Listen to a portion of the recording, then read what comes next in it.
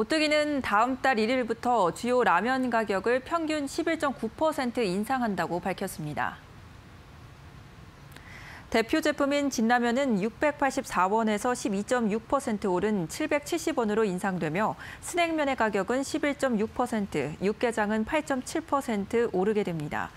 오뚜기는 그동안 라면이 소비자 물가에 미치는 영향력을 고려해 설비 자동화와 원료 및 포장재 원가 절감 등으로 제품 가격 인상 억제를 위해 노력해왔으며 13년여간 라면 가격을 동결해온 바 있습니다. 오뚜기는 이번 가격 인상이 단순히 원가 개선 목적만이 아닌 설비 투자 및 인원 충원 등을 통해 보다 좋은 품질 개발과 생산으로 인류 식생활 향상에 이바지할 수 있는 계기로 삼겠다는 방침입니다.